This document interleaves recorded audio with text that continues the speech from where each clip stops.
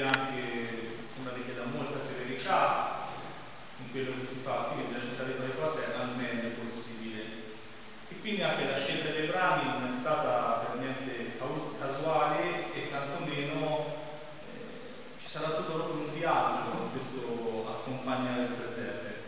Il secondo brano che ascolteremo è il preludio opera 28 numero 15, è conosciuto anche con il titolo apocrifo della goccia d'acqua a causa del particolare effetto onomatopeico dato dal continuo cristallino risuonare il ribattuto della stessa nota ed è una composizione musicale per pianoforte, per pianoforte scritta tra l'altro tra il 1831 e il 1838. Questo preludio ripercorre la forma del notturno sia per il carattere sia per l'articolarsi formale, due sezioni contrastanti, una prima lirica e una seconda drammatica, con una ripresa finale della prima.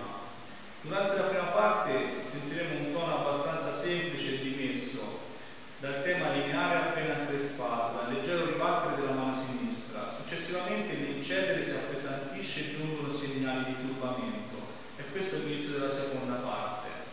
Come in un percorso arretroso dalla realtà al sogno, le figure da chiare distinte nella seconda parte si fanno progressivamente più sfumate, perdono i contorni, sviliscono la ripetizione della nota, già caratterizzante nella prima parte, diviene ora sempre più incalzante e ossessiva.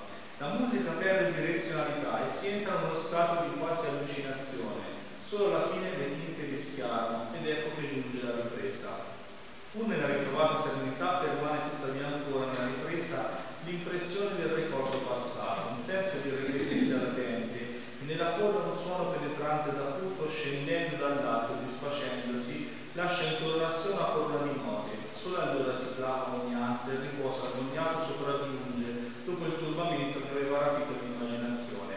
Questo, secondo noi, era l'idea di un presepe che si realizzava, cioè della gente che all'inizio un modo senza sapere nemmeno dove andare di preciso, e quindi questa nota ribattuta dall'idea di questo viaggio, nella seconda parte invece si, si crea questa specie di atmosfera fino a che poi la nascita del bambino e il successivo arrivo dei magi crea questo momento di, dove si placano tutte le ansie e dove nella pace si contempla il presepe.